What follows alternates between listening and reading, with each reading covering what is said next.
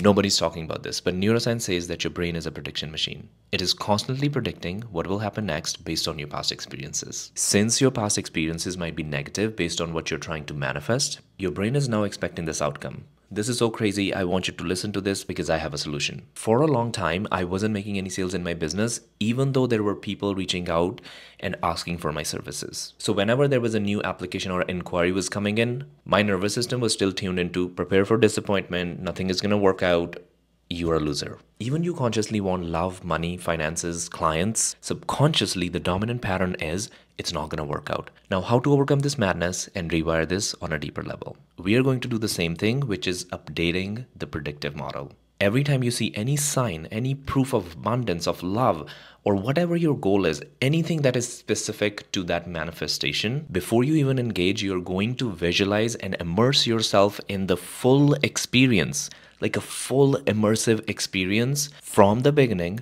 till the end. That means living from the outcome, living from the abundance, from the peace that you will have when you will already manifest that opportunity. Neuroplast plasticity is activated when you combine your emotions with the repetition. We have to recognize that we have this emotion, we have this thought pattern, and we have to out emotion that old story, that old pattern that you have. This is exactly how athletes or performers rewire themselves after any failure.